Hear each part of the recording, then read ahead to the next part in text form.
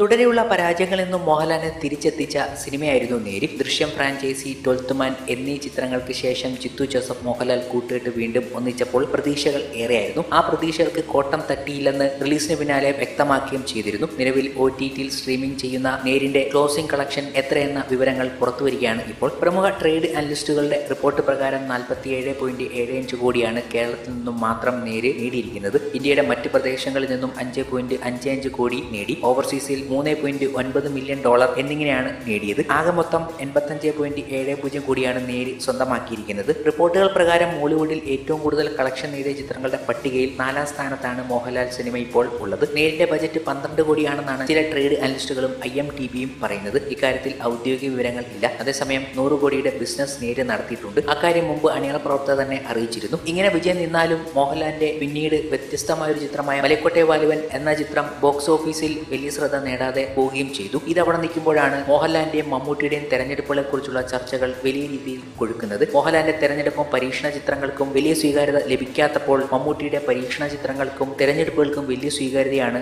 ലഭിക്കുന്നത്. ഇതിനെക്കുറിച്ച് പ്രമുഖ സംവിധായകനും ബിഗ് ബോസ് വിന്നറുമായ അഖിൽ മാരാർ പറഞ്ഞ വാക്കുകൾ വലിയ രീതിയിൽ ശ്രദ്ധിക്കപ്പെട്ടിരുന്നു. അർജുൻ അശോകൻ സിനിമയുടെ പൂജയ്ക്ക് എത്തിയപ്പോഴായിരുന്നു അഖിലിന്റെ പ്രതികരണം എത്തിയതും. പ്രമേയത്തെക്കുറിച്ചുള്ള ചോദ്യത്തിന് മമ്മൂക്കയെ കുറിച്ച് ഇനി സംസാരിച്ചാൽ നമ്മൾ ചെറുതാകത്തേ ഉള്ളൂ. അദ്ദേഹത്തിന്റെ അപ്ഡേറ്റ് കാര്യങ്ങളെ നോക്കിക്കാണുന്ന രീതി ഇപ്പോഴും നടനെന്ന നിലയിലുള്ള ആർത്തി വ്യത്യസ്തതകൾ തേടിയുള്ള അലച്ചിൽ എല്ലാം വേറെ ലെവലാണ് ഖത്തറിൽ മമ്മുക്ക ഫാൻസ് അസോസിയേഷന്റെ പ്രോഗ്രാം ഉദ്ഘാടനം ചെയ്തത് ഞാനായിരുന്നു. അന്ന് പറഞ്ഞൊരു കാര്യമുണ്ട് ഇന്ന് ഈ കാലഘട്ടത്തിൽ മഹാനടൻ എന്നൊന്നുമല്ല യുവാക്കൾക്ക് എക്കാലത്തും മാതൃകയാക്കാവുന്ന ആൾ മമ്മൂക്ക തന്നെ. കാരണം അത്രയും അപ്ഡേറ്റഡ് ആണ് അദ്ദേഹം. അപ്ഡേറ്റ് ചെയ്തുകൊണ്ടിരുന്നാൽ മാത്രമേ നമുക്ക് വളരാൻ പറ്റൂ. ഞാൻ ഇപ്പോഴും ഇരുന്ന് എൺപതുകളെ കുറിച്ച് സംസാരിച്ചിട്ട് കാര്യമില്ല. അത് മനസ്സിലാക്കാൻ കഴിയുന്നവർ മാത്രമേ എപ്പോഴും സക്സസ് ഉണ്ടാക്കൂ. കാലത്തെ മുൻകൂട്ടി കണ്ട് പിന്നെ പ്രവർത്തിക്കുകയാണ്. അക്കാര്യത്തിൽ മമ്മൂക്ക ഇതിഹാസവും പുലിയുമാണ്. ഭയങ്കര അപ്ഡേറ്റഡ് ആണ്. അക്കാര്യത്തിൽ എനിക്ക് ഭയങ്കര ആരാധനയാണ് അദ്ദേഹത്തോട്. അദ്ദേഹത്തിന്റെ ഓരോ സിനിമകളിലും സ്വീകരിക്കുന്ന സമീപനം അത്ഭുതകരമാണ് എന്നാണ് അഖിൽ മാരാർ പറയുന്നതും. അങ്ങനെ മമ്മൂക്കയെ കുറിച്ചുള്ള വലിയ രീതിയിലുള്ള അപ്ഡേഷനെ കുറിച്ച് പല പ്രമുഖരും സംസാരിക്കുമ്പോൾ മോഹൻലാലും മലയാളത്തിലെ ഏറ്റവും ബിഗ് ബജറ്റുകളിൽ അഭിനയിച്ചുകൊണ്ടിരിക്കുകയാണ്. എമ്പുരാൻ ഷൂട്ട് നിലവിൽ നടന്നുകൊണ്ടിരിക്കുകയാണ് മോഹൻലാലിന്റെ അതിനൊപ്പം തന്നെ ബറോസ് എന്ന ചിത്രം ഉടൻ തന്നെ നമുക്ക് മുന്നിലേക്ക് എത്തും. അത് ടെക്നിക്കലി വേൾഡ് വൈഡ് അക്സെപ്റ്റൻസ് ഉള്ള സിനിമയും കൂടിയാകുമ്പോൾ അത് വേറെ രീതിയിലുള്ള ചിത്രമാണ്. അതിനൊപ്പം തന്നെ ഋഷഭ